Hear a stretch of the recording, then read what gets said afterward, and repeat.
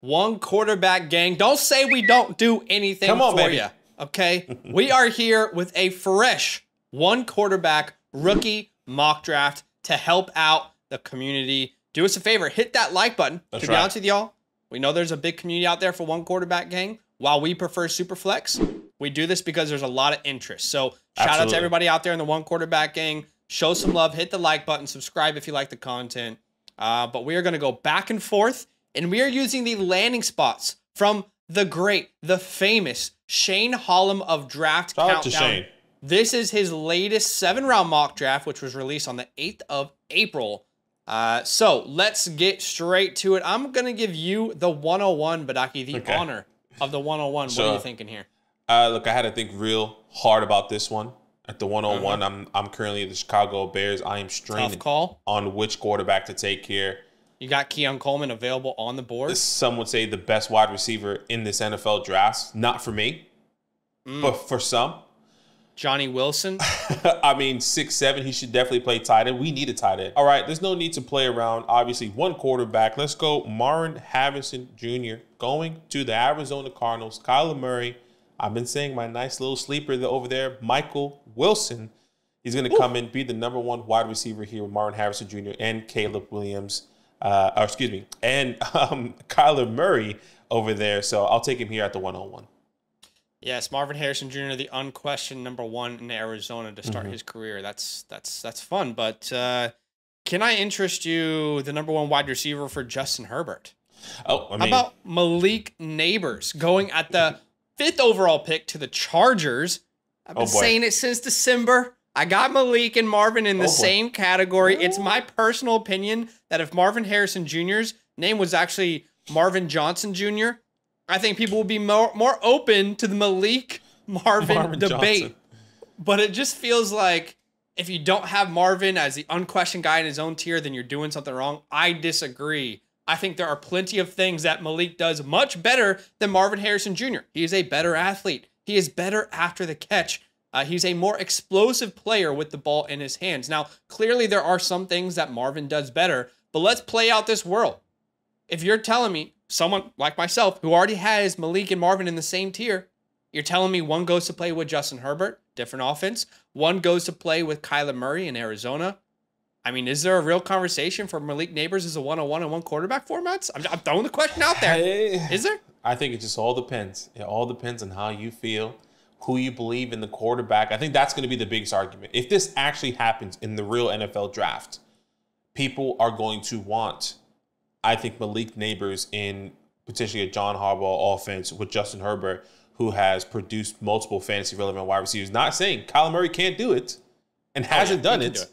Just saying that I think they probably like that offense better. It's more of a high powered offense. We've seen it, a tough division as well. Yeah. Anyways, uh, we can go. Look, we can no one likes it. clickbait less than me. All right. but this is not clickbait, them being in the same tier. Just a friendly reminder, okay? Friendly. Best PFF receiving grade of any wide receiver last year was Malik Nabers, 92.7 grade. He's a versatile player, plays inside, plays outside, about 50% in the slot, about 50% out wide. He's a route running technician. He's got great ball skills. The speed is there, the yak threat is there. Uh, I'm seeing shades of Antonio Brown, Reggie Wayne, DJ Moore. So put some respect on DJ's uh, on Malik's name, but I, I can make a case for either of those guys at the 101. No what are you thinking at the 103? No question. At the 103, let me say the best wide receiver in the class just because of this landing spot. Okay? Wow. Just because of one of the greatest organizations in the NFL, and that is Rome Odunze going to my beloved New York football giants. That instantly, that should be a new conversation for the one on one at the wide receiver position. All jokes. Obviously, Daniel Jones seems like Drew Lock throwing him the ball. yeah, Daniel Jones, Drew Lock. Who's going to be throwing him the ball? I don't. I don't know, and I don't care. All I know is he's going to be inst- instantly be the number one wide receiver there, That's getting hundred plus targets in this offense. They've been desperately in need of a big body wide receiver, and this is exactly what they get. I mean, he is Rome Odunze. I said Twitcher Tee Higgins, very strong Mm. hands, more uh, fluidity. If you were to compare him to Tee Higgins, he comes in Yeah. instantly becomes a game changer for my beloved New York Football Giants, and they might get a quarterback in the second round here. Just Yep. have to wait and see if I do take him or maybe you take him. Yeah. By the way, I've heard someone come out with the comp of Davante Adams, and it makes a lot of sense. My comp for Rome has always been if you combine a Chris Olave and a Courtland Sutton at his prime, Mhm. I think you get a Rome Odunze. Nice. Real NFL draft analyst that we like. I can't remember who it was. I don't think it was Jeremiah. I can't remember, but I was someone that I. I trust was saying he is Davante Adams, and I was like, oh my god, that is that is kind of crazy to think about because I can kind of see it a little bit. Yeah, some people But have at- Rome I'm- ahead of. Sorry, some people have Rome Some ahead people of do. Yeah, Yeah, some people do. And at the end of the day, Rome Odunze is probably the number one wide receiver in like seven out of the last no 10 question. draft classes. No question. It's just a very different draft class this year. Um, all right, I'm at the 104. And look, in a tight end premium format, I would probably lean a certain way. But this is non tight end premium for today. All right. And in a non tight end premium league, I would have Brian Thomas ranked one spot ahead of Brock Bowers. And that's where I'm going. I'm going Brian Thomas Jr. He links up with Trevor Lawrence in Jacksonville. It didn't work out for Calvin Ridley, but clearly this team has a hole outside. Yes, Gabe Davis is always going to be a Z or a Y. I mean, he's never going to be your true alpha X that No. you are running your offense through. He No. has never had a season over 100 targets. He's never had a season over 1,000 receiving yards. And he's never had a season over a 60% catch rate. Okay. hmm So that is your deep ball, big play type of guy. And Brian Thomas Jr. is a extremely upgraded version of that, but th- there is no ceiling to his game. So you get Brian Thomas Jr., you play him on the outside, you keep Kirk in the slot, and obviously Gabe Davis can keep the role that he had uh, as kind of this splash player. But Brian Thomas Jr., the Jags have never given Trevor Lawrence a first round wide receiver to grow around. Uh, well, Joe Burrow got one Sure. right? Kyler Murray is going to. At one point, he got DeAndre Hopkins, Yeah. right? This is the Jags' first time saying we're going to invest serious capital. I guess Calvin Ridley, you can make a case, but they didn't keep him. But Brian Thomas Jr. here at the 104, I'll take him. Yeah, look, it definitely makes sense here at the 104. I'm going BTJ. Now, you did mention tight end premium. I actually want to start a conversation because I actually truly do believe now with the move of Stefon Diggs, I actually believe people will would do this. So let's have the Okay, yeah. conversation. I'll take this person, Adonai Mitchell, going to the Buffalo Bills with- Yeah. in the first overall, or not the first overall pick for the Buffalo Bills, 28th overall pick. Yeah. Now, the conversation, which we'll definitely have once that player gets off the board, I do believe he can potentially go ahead of Brock Bowers based on landing spot. And with Stefon Diggs no longer on this team, leaving behind 120 plus targets that we've seen, what, the past three, four years that he's been with Josh Allen, we've seen this offense want to open up and then say, you know what, we're not just going to lean on Stefon Diggs, we're going to lean on multiple people. Adonai Mitchell now becoming the number one wide receiver on this offense here with Josh Allen and Joe Brady. They want to switch things up. And Adonai Mitchell being the number one guy who we both have said is very underrated. I think a lot of the fantasy Yes. community has been rising him up in in the fantasy rankings. How he ran in the four, the four, the low four threes, if I'm not mistaken. A- And phenomenal wide receiver. I think this is a true possibility based Yeah. on landing spot that Adonai Mitchell can go ahead of Brock Bowers once you know the landing spot to where Brock Bowers goes. So comment down below. I I genuinely want to know, would you do this?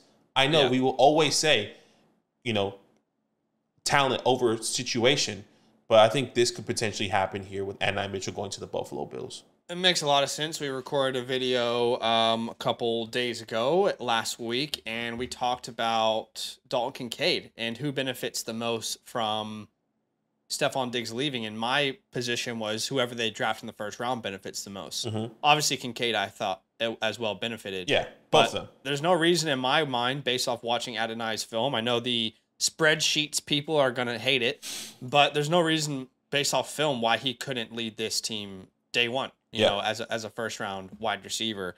Uh, and I've seen some people comp him to CeeDee Lamb. I can't see that personally, but my ceiling, my tippy top for him was DeAndre Hopkins. So I think there's a scenario here where um, people just underrate him as a route runner. That's what I'll say. I think Yeah. I think he can be very successful from day one. I agree. So it makes sense. Um, and I'll go ahead and take Brock Bowers off the board. The the fall stops here at the 106. And get ready for the comments, Badaki. There's no league in any world where Brock Bowers falls to the 106 and one quarterback. Just get ready for that. Come comment on, brother. It's coming.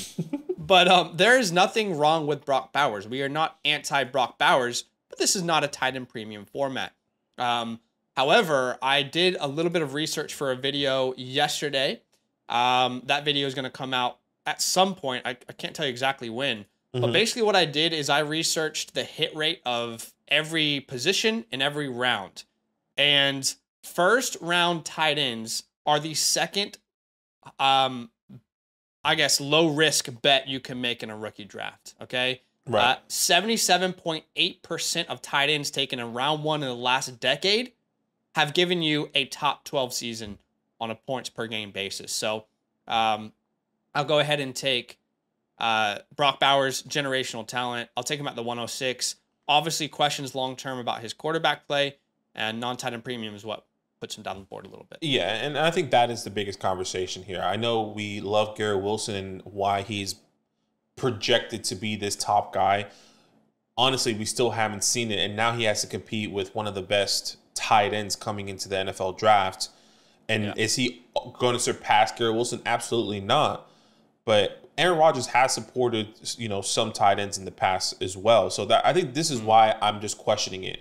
Aaron Rodgers, let's sure. just say he plays for another two years, but would you rather have Adonai Mitchell, who's going to be with Josh Allen for the next four years, right? Makes sense. It just different conversations. Tight end premium, maybe maybe Brock is the 104. Yeah, probably different conversations willing to have here. All right, at the 107, one of the fastest wide receivers going to a Super Bowl contending team. Clearly, maybe going for the repeat. The Kansas City Chiefs takes Xavier Dynasty. Worthy to Dynasty with the 32nd overall pick in the NFL draft. Now, I do agree with you, Zach, that them acquiring Hollywood Brown now takes him out of this contention of drafting another wide receiver. But with all with all this new resurfacing issues with Rashad Rice, uh, Rashee Rice, yeah, dude, is there a window there that they take a wide receiver? I think there is now. Very minuscule. I, I don't think it's necessarily big, but once we understand how the legalities with Rashee Rice and how that's going to be looking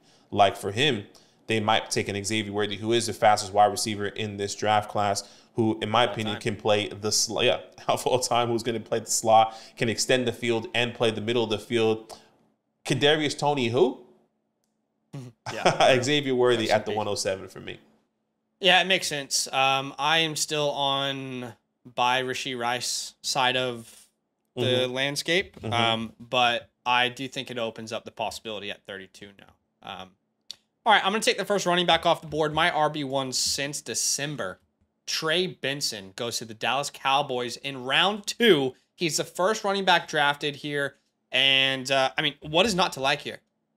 He's got the size, he's got the speed, he's got the production, he's got the draft capital, he's got the landing spot. We're talking about Trey Benson. If he went to the Dallas Cowboys, what's his range of outcome in year one?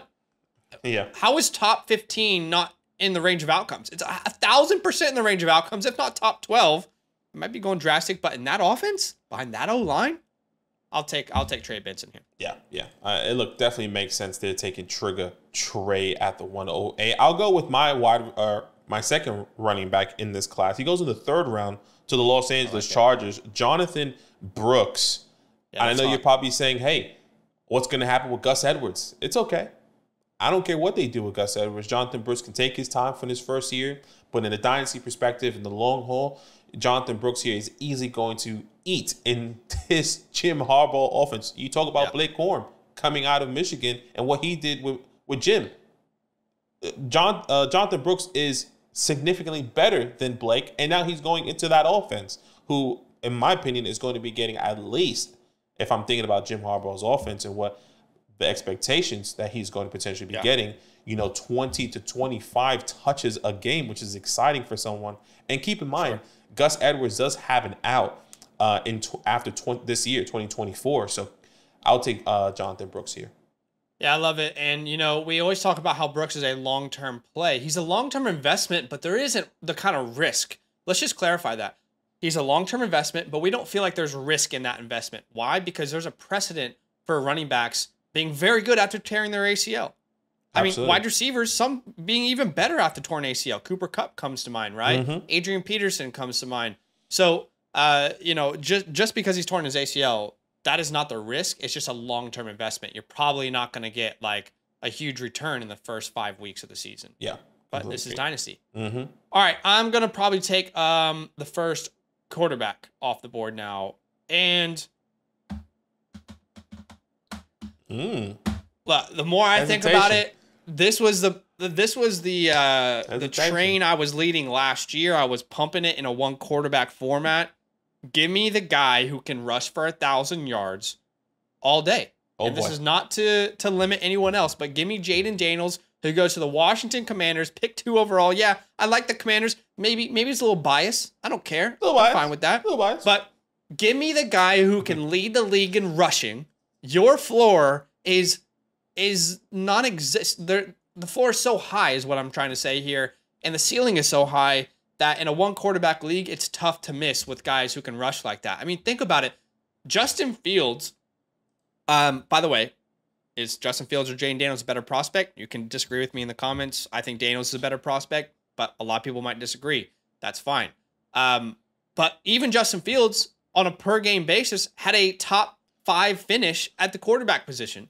If you had sold Justin Fields at the right time, it would have netted you multiple first round picks in a lot of leagues. So Sure. even if you don't believe in Daniels long term, we know he's going to score fantasy points. Mhm. Anthony Richardson couldn't stay healthy, scored a lot of fantasy points. Uh, so I'll take the guy who can win my, my league, not to say that the others can't. Yeah. And, you know, I'll just counter that once again to continue the conversation here.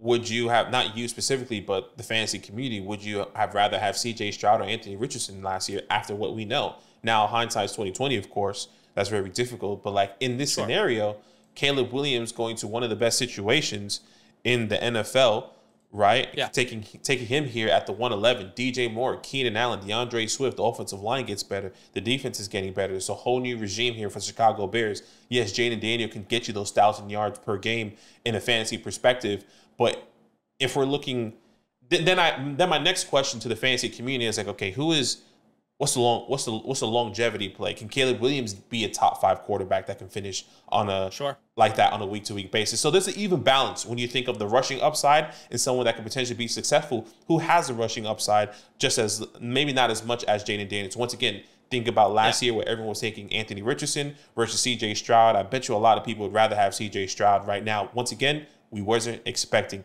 that to happen, but just a conversation to have in a thought process to think about when you're going into your drafts.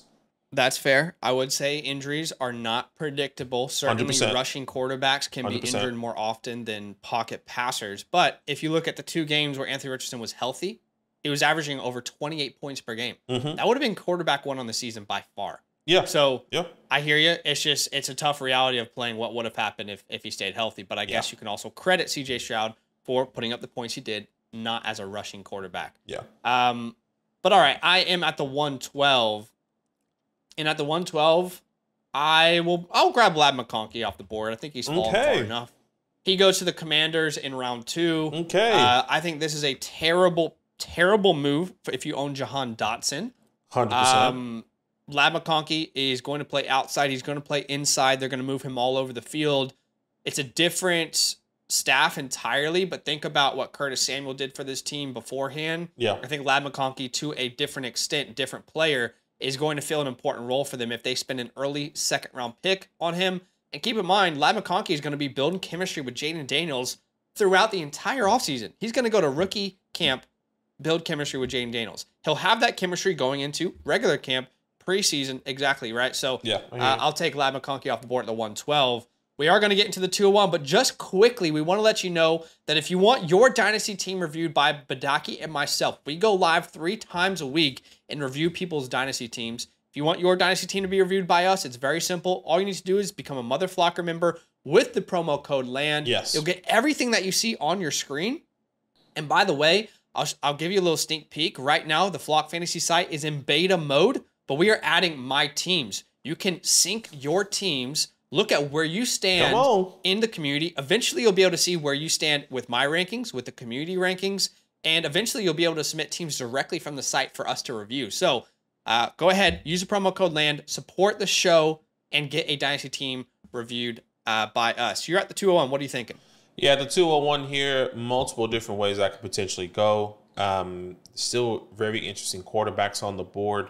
But since I got my quarterback here at the 111 with Caleb Williams, let's stretch it out a little bit. I'm going to go Xavier Legette at the Okay. 201.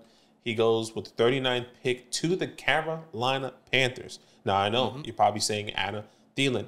You're probably saying um, Diontae Johnson. Xavier Legette brings that size and speed to this offense here. A big body wide receiver that we kind of compared to the DK Metcalf. Now, he may not be as big as him at the official results coming in, but somebody that can definitely do so many things for this offense, right? I kind of I compared him to yeah the DK Metcalf, so you know a, a very versatile player that can play in the backfield and outside and in the slot. So I'll take Xavier Legette here going to the Carolina Panthers. Yeah, it makes a lot of sense. Uh, I'll take the guy who's thrown the ball to uh, Justin Jefferson, Jordan. Addison, and TJ Hockenson. I'll take JJ. McCarthy out the board at the 201. Yeah. Or 202. It's, it's a one quarterback league. Yes, Drake Maye's available. I'm playing the world out. We're having fun with this. Having okay, fun. shoot me if you, if you hate the idea, but I'll take JJ here. JJ has been my quarterback four in the class since December. That hasn't changed for me. Uh, there was a moment where I thought I might move Drake, uh, Bo Nix up, but uh, I think he's people really underestimate his ceiling. I really think that. Um, just because he wasn't used the way they wanted him, they he doesn't have the production. I Mhm, get it, mhm. but every time they asked him to do what they needed him to do, he did it. And I think there is so much room for him to grow and to become a better player. So I'll take JJ off the board there. If he's with Kevin O'Connell in that offense, yeah, I'll take JJ. Yeah, look, definitely makes sense there. And I'll, I'll go Drizzy Drake Maye here. sense. He goes to the New England Patriots. Uh, There's so many mixed reports about this guy now, right? Like the Patriots don't want if Drake Maye. If I'm seeing reports that Drake Maye falls to the Patriots at the, at the third pick. They don't want him, right? They they rather take somebody else. I think they would rather have Jayden Daniels over Drake Maye, according to reports. I've seen multiple different reports here, but hey, Drake Maye uh, coming out of UNC, I I think he's one of the better quarterbacks here. I compared him to the Justin Herberts type, Josh Allen I type of builds. He is he has the tools, and and and the he ha- he has everything. He has everything, Yeah, and I think a does. lot of a lot of NFL teams or maybe the fantasy community are potentially overreacting. Now, there's no perfect science to drafting and understanding how to scout quarterbacks clearly, but he's still my QB two in this NFL draft here. An ideal NFL size, a crazy deep ball. I- I think he has everything tangible here, and he gets some weapons coming into this second round as well, or in the Yeah. third round for him in New England. No, I I I think don't take my JJ pick as a indictment on Drake Maye. Love Drake Maye. I'm still all in on Drake Maye, but obviously I can see how it would feel that way if someone was watching the video. Sure. I'm a big fan of his game. I don't think we should overreact too much to him being on uh, uh, the Patriots, so he would have been my next pick as well. But at the 204, I'm going to shine a light on one of my guys. I've been I have been the conductor of this train Oh boy, since December. And it's not stopping, okay? I said it on a live stream a couple weeks ago, Badaki. Oh, boy. The best value in the entire NFL draft is going to be Jalen McMillan this year. I'm going to take him at the 204. He goes to the Cincinnati Bengals in round three. I told you guys when we were talking about Jalen McMillan back in December that his floor is Tyler Boyd in the Cincinnati Bengals offense. His ceiling is much higher than that, but that is his floor, in my personal opinion. You put him in Cincinnati. We don't know if Tee Higgins is going to be there long term, but you have an opportunity for Jalen McMillan second half of the year probably start to get more and more and more production. Think about the Rashee Rice season. Think about the Amon-Ra St. Brown season. Clearly, they had less competition, but he'll just get more and more chemistry over the season. I think he's a very good player. I have no doubts that he's going to produce in the NFL out of the slot. Uh, and I'll take him there at the 204. Uh, potentially, Burrow's number two wide receiver as soon as the year after he's drafted. So I'll take Jalen McMillan at the 204. My guy, best value in the entire NFL draft. Put it on the board. Yeah, put it on the board there. All right. I I'm gonna go with another guy here, going to a team that I believe he instantly slots into be the number one wide receiver, and that is slick Ricky Pierce. Pearsall going to the England like. Patriots in the early third round. I mean, you tell me who he's gonna be competing there with. Yeah, you have uh Demario Douglas, you have Kendrick Bourne, you have um, KJ Osborn. Uh, None of these guys scare me. Tyquan Thornton, Ricky Pearsall comes in, who has really great, reliable hands, has that underrated speed as well. uh, 441, I think is pretty good for a 6'1, nearly 190 pound wide receiver. He brings versatility to this team, which is exciting. And this is exactly what Drake Maye can, can do. Once again, I mean, Zach kind of mentioned it earlier. He's going to be in rookie camps with Drake Maye in this scenario, in this world that we're living in here. Slick Ricky, in my opinion, instantly becomes a number one wide receiver and a great value here at the 205.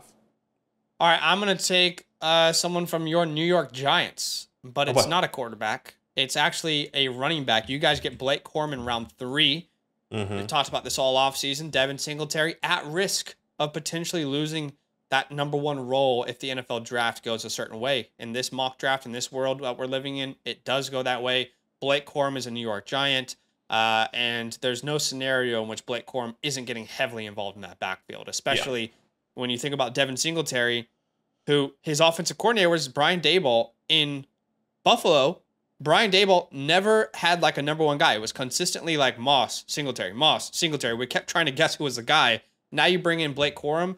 It's definitely going to be a two-headed backfield there. So I'll take Blake Corum at the 206. Yeah, makes sense here. All right, I'm going to go another wide receiver. I'm going to continue this. I'm going to go Roman. Wilson.